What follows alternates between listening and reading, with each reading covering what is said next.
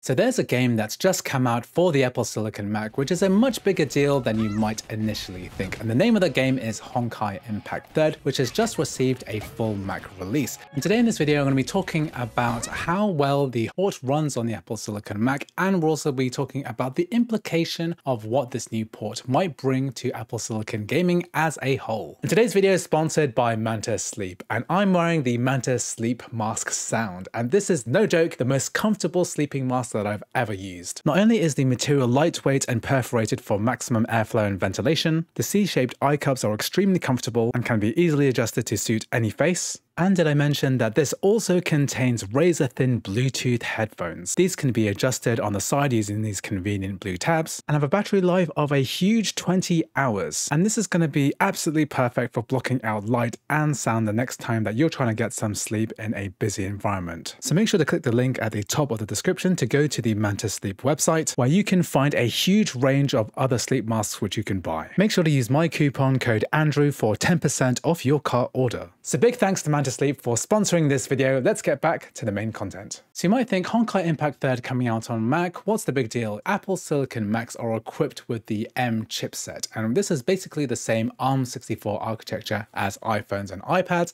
and you might think that basically every single popular iPhone and iPad game should get an instant port to the Mac desktop, especially because we have this native level of compatibility, virtually no work needs to be done. However, unfortunately, most of the biggest iPhone and iPad games haven't actually made their way over to the Mac desktops. Now, I've actually made tons of videos about this particular topic in the past, which I'll leave a link to in the description. And really what it boils down to is the fact that the Mac gaming player base is much smaller than the iPhone and iPad player base. And big companies and publishers are reluctant to do the necessary work and investment in order to get these games working on the Mac. You need to do things like support the different resolutions that a Mac can support, and also you need to set up Q&A, so you need customer service to help support issues which Mac gamers might face. And also on macOS, you have a few vulnerabilities which you don't necessarily have to deal with on mobile. For example, macOS is a much more open platform than iOS. You can do things like run unsigned code, and it basically opens up the possibility that players could actually run cheats in the background. So a lot of these companies don't want to make the investment of time and money in order to make these games compatible for macOS. And that's a shame because a lot of the biggest iPhone and iPad games can't run on the Mac because basically the companies and publishers don't want to tick the box to allow publication on the Mac App Store for all the reasons that I've given so far. And we're missing some really big titles which could technically work really well on macOS, but have been opted out by the developer or the publisher. Games like Call of Duty Warzone Mobile, popular battle royale shooter like PUBG, and huge open world titles like Genshin Impact. However, with the release of Honkai Impact 3rd, it looks like this might be changing. That's because Honkai Impact 3rd is made by MiHoYo. This is a huge Chinese developer which created other titles like Honkai Star Rail and the aforementioned Genshin Impact. Now, Genshin Impact is a huge, huge deal. Personally, I don't really play a huge amount, but I do make tutorials about how to get the game running on the Apple Silicon Mac. In total so far, I've amassed over 1.6 million views in tutorials on Genshin Impact. People really want to play this game on the Mac. Now, miHoYo are a close partner of Apple. They've been featured many times on the stage, and their games are a huge showcase for performance on new Apple devices like the iPhone 15 Pro. And they've basically taken the steps to port one of their less popular games, Honkai Impact 3rd, onto the Mac desktop. And what makes this Mac port interesting is that if you go on the App Store and you do a search for Honkai, you won't find it on the Mac App Store side. You'll actually find it on the iPhone, iPad side, and it's actually the iPad app that you're downloading. But this has been modified to take advantage of Mac hardware. And this is using a program called Catalyst, which you can read about. I'll leave a link to this in the description. Basically, when the app is being run on a Mac desktop, it takes advantage of all of these additional Mac features, and it actually performs very well on Apple Silicon Macs. Once you're a little bit ways through the game, you can access the graphics menu and then change some of the graphics settings, including changing the frame rate cap from 60 to 120 Hertz. This is great if you have a ProMotion display or an external display that can support more than 60 frames per second. So yes, I am running this on the M3 Max chip and it's running at 120 Hertz at max graphics settings, which is of no surprise at all. But what's really cool is that even on the base M1 Apple Silicon Mac, this will actually run at 4K at max graphics settings at 60 frames per second. And not only that, we also have full keyboard and mouse support as well as controller support as well. So there was supposed to be Metal FX support added into the game, but this isn't supported at the moment. Apparently it's going to be added in the future and this would allow graphics upscaling, but frankly it's not really necessary because the M1 chip can basically run this at max settings at 4K anyway. And what makes this a big deal is the fact that if miHoYo are going back into their catalog and porting one of their less popular titles to the Mac desktop, then where does that leave other titles like Honkai Star Rail and the aforementioned Genshin Impact? It really looks like they're using Honkai Impact 3rd as a kind of testbed, and if Genshin Impact could receive the same treatment as Honkai Impact 3rd, then this would be one of the biggest games to be released on macOS of all time. And not only this, it would also signal to other developers and publishers that the Mac platform is worth publishing too. And it could even be the spark that convinces other big name games to be ported to the Mac, including games like PUBG and Call of Duty Warzone Mobile. So anyway, I really hope that these big name games do come onto the Mac App Store eventually. But in the meantime, if you did want to play Genshin Impact on the Mac, there are a couple of methods, they're kind of workarounds, which I've made tutorial videos about, which I'll leave a link to in the description. The first one is called YAAGL, or Yet Another Anime Game Launcher, which basically uses Crossover and D3D Metal to run the Windows version of the game on Apple Silicon Macs. There's also another method called PlayCover, which basically sideloads the mobile application to be playable on the Mac desktop. It actually works really well, but it's a little bit janky when it comes to things like keyboard and mouse support. Anyway, you'll